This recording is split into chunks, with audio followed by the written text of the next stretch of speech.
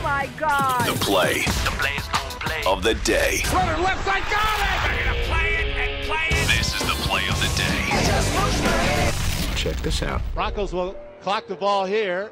They don't clock the ball. They throw it in the end zone for a touchdown. They don't clock it.